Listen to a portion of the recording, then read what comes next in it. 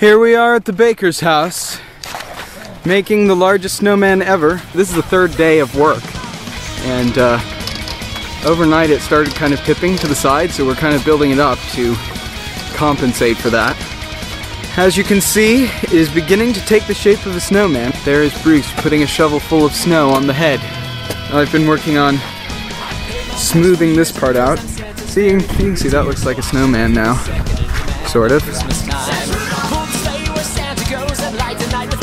I suppose we can use that pail there for the hat. The carving utensil. well, it's starting to get dark. Here is Gabriel, my dumb little brother. Day four of the epic snowman shenanigans. him in the face. Bam.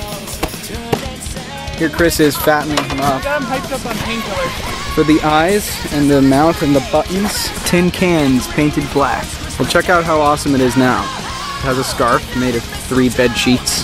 We're improving the shape a little bit, refining it.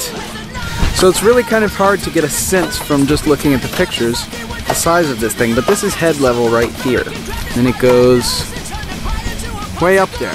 Here's our interesting ladder, our homemade extension ladder, definitely violating several New York State laws. We just roped two ladders together, so I could actually die during some time during this video. Here we are, up at the top of the world. The ground is far below us. So this is a very important part. We are now putting the snowman's nose on, which happens to be a butternut squash. Oh, that is great. That looks great. So this is day five. We actually finished it up last night. Today it snowed, so there is now this lovely white carpet around the snowman, and so that's going to be great for our final pictures. The nose fell off, so we have done some plastic surgery. He has a new nose, well actually it's the same nose, we just took the broken nose and stuck it back on. Completed product! And voila. Oh, this is from the top of the snowman. I'm just gonna take a look around and see exactly what it looks like from up here. It's pretty scary actually, to be honest. It's really slippery. Awesome car.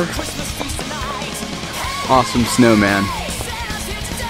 Other car that's not as awesome as this one.